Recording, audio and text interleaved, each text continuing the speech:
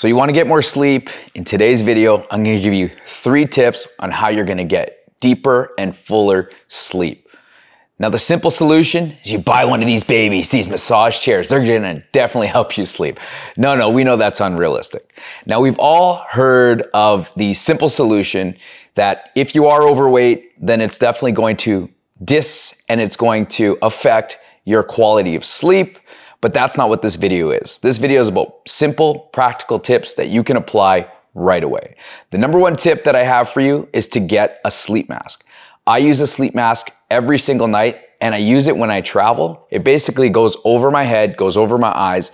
And the nice thing about the one that I got from Amazon, which was only about 30 bucks, is that it's got these built-in earphones that don't squish into your ear like the earbuds. And you can have what's called binaural beats, or you can have white noise going so that you don't hear distractions from people moving around the room. You don't hear the clock ticking. You don't hear maybe like a beeping sound coming from somewhere in the other part of the house. It blocks out all that noise so it doesn't distract your sleep, but it also blocks out all of the light. Now, I don't know about you. Maybe you have the same problem is that in my room, I've got the Shawbox. I've got all these different things. My toothbrush has a light on it. And that lighting, even though it's small, it's sending light onto your body and your body thinks that it's part of the sunlight. Your body doesn't really disassociate one light versus the other. And so what ends up happening is it's going to affect your sleep.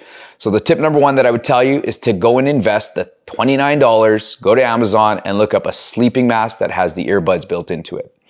Number two is that we need to stop eating three hours before you go to sleep. Now, how many of us have put in our last meal, we eat late, and then what happens is, sure, it's going to temporarily make you tired because your body's going through a digestion process.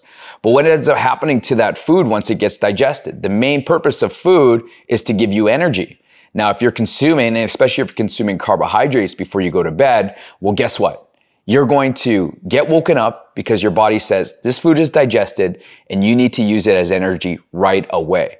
So give yourself at least three hours before you actually go to bed. And I'm not talking about going to bed, going on your phone, like before you go to bed, before you hit the bed and you do all that stuff and you pass out, make sure that you stop eating. It doesn't matter what it is, just stop eating three hours before you go to bed.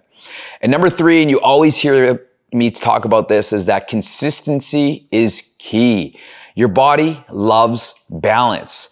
So what you need to do is keep 80% of your weekday sleeping habits the exact same, right? So if you can go to sleep at the same time, at least Monday through Friday or Monday through Thursday, then Friday you stay up late, Saturday you stay up late, and then Sunday you go to bed at that same time, then guess what? Your body's always going to produce the hormones that it requires to fall asleep. It's going to build in a circadian rhythm so that your path and your pattern is the exact same day in, day out two days of sleeping past what you normally go to sleep at isn't going to wreck it.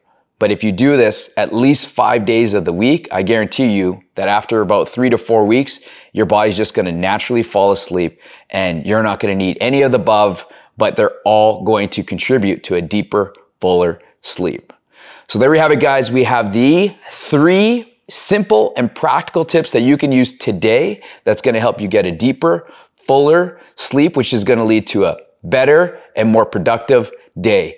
Give the video a like. I'm Coach RJ, and we're gonna see you on the next video.